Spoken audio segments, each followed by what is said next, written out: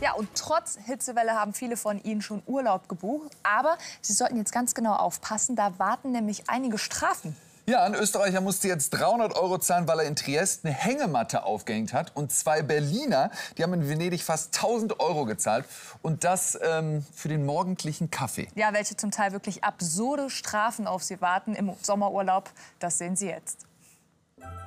Venedig, die Stadt der Liebe und die Stadt der absurd hohen Strafen. Das ist der wohl teuerste Kaffee ihres Lebens. 950 Euro zahlen diese beiden Berliner Rucksacktouristen für ihre Tasse Kaffee.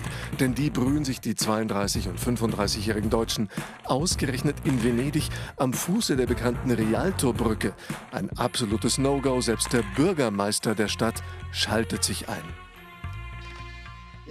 Ein Anwohner hat uns angerufen. Wir sind dorthin, haben die beiden identifiziert, sie bestraft und zurück nach Hause geschickt.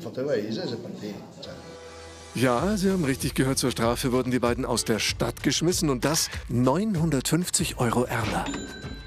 Solche scheinbar horrenden Strafen sind in der italienischen Inselstadt kein Einzelfall mehr.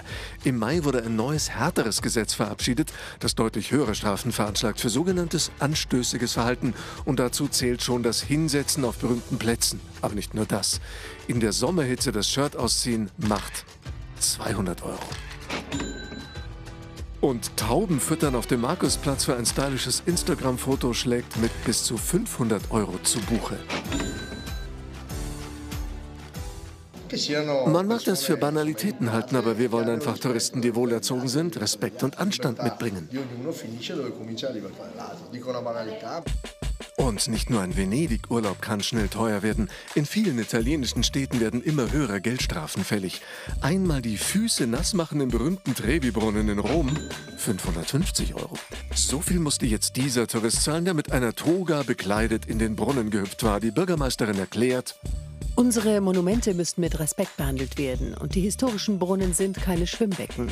Dieses Verhalten ist inakzeptabel, da gibt es keinerlei Toleranz. Wer in Sardinien Sand als Souvenir einpackt, dem drohen bis zu 3000 Euro Strafe. Die Sorge um den sardinischen Sand geht sogar so weit, dass am Strand La Pelosa Badehandtücher und Badetaschen verboten sind, weil die zu viel Sand abtragen. Also vor dem nächsten Urlaub am besten nochmal nachschlagen, was alles nicht erlaubt ist. Sonst kann es schnell teuer werden.